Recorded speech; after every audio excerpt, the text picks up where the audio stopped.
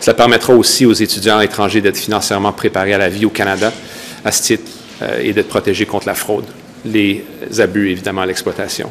Là malheureusement c'est euh, une vidéo que je voulais pas vous faire de base euh, car je ne pensais euh, sincèrement pas que le gouvernement du Canada allait prendre cette décision. Mais bon je vais vous expliquer ce qui se passe. Donc je vous invite à regarder cette vidéo jusqu'au bout pour comprendre l'entièreté de la mesure qui vise à empêcher les étudiants de travailler comme ils le souhaitent. Hello tout le monde, j'espère que vous allez bien, je me présente, je m'appelle Aménan et bienvenue sur l'éveil ivoirien. Pour vous recontextualiser très rapidement ce qui se passe, le gouvernement du Canada a une fois de plus euh, donné l'impression qu'il ne souhaite plus qu'il y ait autant d'étudiants au Canada. À partir du 1er mai 2024, tous les étudiants internationaux n'auront plus le droit de travailler plus de 20 heures par semaine en dehors du campus euh, universitaire. Faut savoir que de 2020 à 2024, c'était une mesure qui avait été euh, propulsée par le gouvernement car euh, c'était la pandémie, les employeurs avaient besoin de travailleurs et en plus de ça, on va pas se mentir, au Canada, il y avait énormément de pénurie. La procédure en décembre 2023 à, enfin, au 30 avril 2024 aujourd'hui, euh, avait été euh, prolongée. Donc les étudiants avaient encore l'espoir euh, qu'après le 30 avril 2024, le gouvernement décide de prolonger une nouvelle fois au moins de six mois, voire même d'un an, afin de pouvoir continuer à subvenir à leurs besoins en travaillant à plein temps. Le souci, c'est que nous avons eu hier soir, très tard, le 29 avril 2024, la réponse du gouvernement du Canada par l'intermédiaire d'une conférence de presse qui a été organisée par le ministre de l'Immigration. Malheureusement, tous les étudiants internationaux, à partir du 1er euh, mai 2024, n'auront plus la possibilité de travailler plus de 20 heures par semaine. Et en plus de ça, il faut savoir qu'ils ont été plus loin dans la démarche car ils ont expliqué qu'à partir de l'automne 2024, le maximum qui sera accordé aux étudiants sera 24 heures par semaine. Donc ce qu'on comprend, c'est que le gouvernement a décidé euh, bah, en fait d'annuler toute spéculation. Donc il ne souhaite plus que les étudiants aient cette possibilité, car dans la conférence de presse, ils ont expliqué que 1.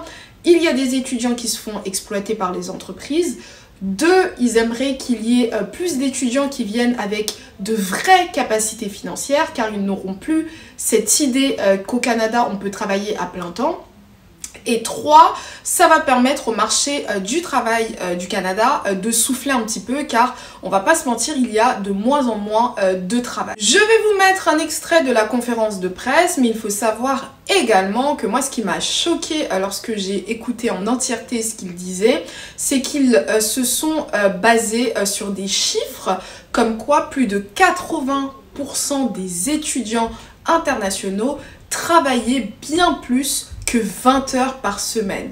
Donc on part du principe qu'ils ont vraiment toutes les données euh, mises en place, mais en plus de ça, bah, qu'ils ont euh, explicitement bah, décidé de prendre cette mesure bah, parce qu'ils partent du principe que les étudiants, lorsqu'ils viennent au Canada, ils sont beaucoup moins concentrés sur leurs études, mais beaucoup plus sur euh, le fait de travailler pour pouvoir subvenir à leurs besoins. In October of 2022, we waived the 20-hour per week limit for off-campus work for international students.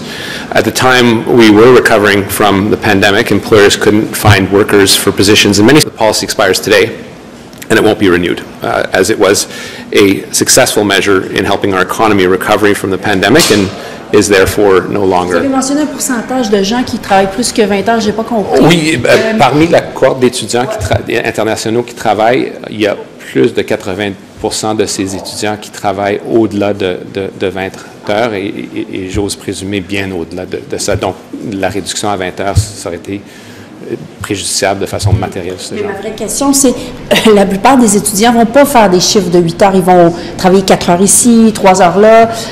Et, donc, je repose un peu la question de ma collègue. Pourquoi 24? Pourquoi pas tout simplement être revenu à 20, par exemple? Bien, d'abord parce que euh, à 80 et plus de gens qui travaillent au-delà de 20 heures, on savait qu'il y a des gens qui ont besoin de cet argent-là pour payer leurs frais qui sont quand même euh, très significatifs par rapport à un étudiant qui vient d'ici, qui paye peut-être 5, 6, 7 000.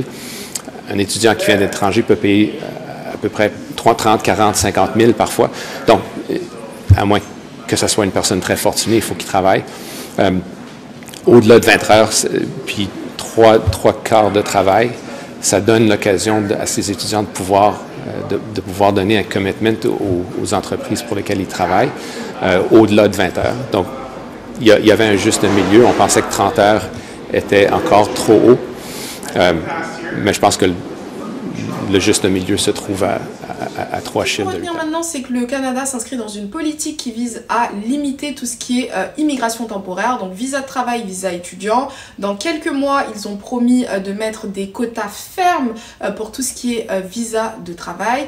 Les étudiants, si vous souhaitez venir au Canada, ne vous faites pas embrigadés par des, des fausses agences d'immigration euh, qui vont vous faire croire qu'ici on peut travailler à plein temps, donc vous n'allez même pas avoir euh, le besoin de, de, faire vos études, donc vous allez aussi pouvoir financer votre scolarité directement au Canada. Ce n'est absolument plus d'actualité. À partir de maintenant, donc à partir du 1er mai 2024, vous êtes dans l'obligation de respecter cette nouvelle mesure. N'oubliez pas que si vous travaillez euh, plus de 20 heures par semaine jusqu'en automne et après plus de 24 heures par semaine euh, par la suite, le gouvernement du Canada se donne le droit de vous expulser ou encore de vous euh, empêcher de renouveler votre permis d'études ou euh, votre résidence permanente si vous faites les démarches ou votre visa de travail ouvert post-diplôme. C'est super important de respecter certaines règles. Personnellement, je comprends et je ne comprends absolument pas euh, cette mesure. Donc pourquoi est-ce que je la comprends? Parce que n'oublions pas euh, que le Canada de base, c'est un pays qui souhaite accueillir des étudiants euh, internationaux riches.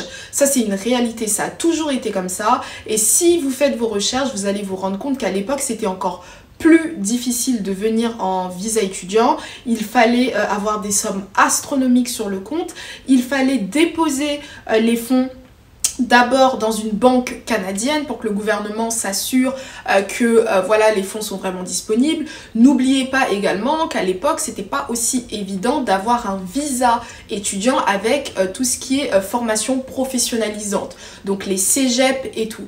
Donc tous les étudiants qui sont arrivés il y a plusieurs années, ils peuvent vous garantir que eux, bah, en fait, ont été obligés de passer par des universités extrêmement chères, de faire des démarches d'immigration super méga euh, compliquées et très coûteuses. Donc on va pas se mentir, je pense qu'ils veulent euh, que ça redevienne voilà un pays où les étudiants qui viennent ne dépendent pas du système mais plutôt viennent avec beaucoup d'argent à dépenser dans leurs universités et puis euh, finalement n'aient pas besoin de quémander du travail. Pourquoi est-ce que je ne comprends absolument pas euh, la mesure? C'est qu'ok, pendant des années, vous avez donné l'opportunité à des étudiants de pouvoir euh, subvenir à leurs besoins en travaillant plus de 20 heures, sachant que à l'époque, lorsque vous euh, donniez cette possibilité à ces étudiants, vous aviez indiqué que c'était par rapport au coût de la vie qui avait augmenté.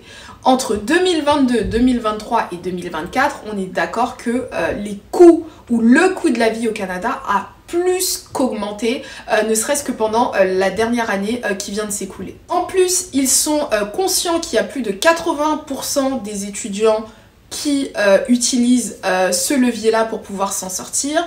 Donc le plus logique, ça aurait été, selon moi, euh, d'autoriser, de continuer d'autoriser plus de 40 heures par semaine à tous les étudiants qui sont déjà sur place, parce qu'on va pas se mentir, vous travaillez 40 heures par semaine, vous gagnez un certain salaire, du jour au lendemain, en l'espace de 48 heures, vous vous retrouvez à devoir baisser vos heures et gagner 20 heures par semaine toute personne au Canada peut euh, vous expliquer à quel point ça va être extrêmement difficile pour ces personnes. Ça va être une galère monumentale pour tous ces étudiants. Donc moi, je compatis avec tous les étudiants et je, pense sincèrement que, euh, voilà, il fallait... Euh, donner la possibilité à ceux qui travaillent déjà, à ceux qui sont déjà au Canada, de pouvoir continuer. Et puis après, les nouvelles personnes, bien évidemment, qui vont s'insérer dans la société canadienne avec un visa étudiant, eux auront la possibilité de venir avec plus de fonds car ils seront mieux avertis. Après, ce n'est que mon avis, mais voilà pourquoi je comprends la mesure